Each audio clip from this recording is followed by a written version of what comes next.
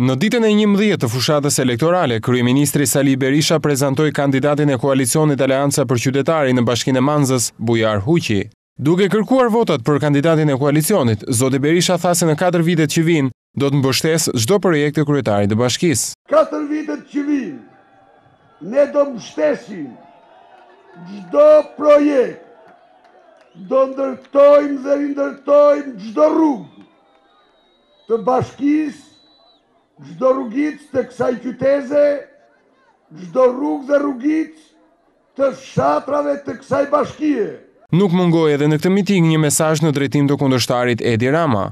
Por këtu nga Manza, do t'i them kryetarit të Partisë Socialiste, zoti Edvin apo shoku Edi, vrapo sa të mundësh Në rrugën tënde të vetme, shtëpia e të shkuarës të pret, ka hapur dyert për ty. Ec me vrap drejt shkuarës tënde. Zoti Huqi rikandidon sërish për Bashkinë e Manzës nën siglën e koalicionit Aleanca për Qytetarin.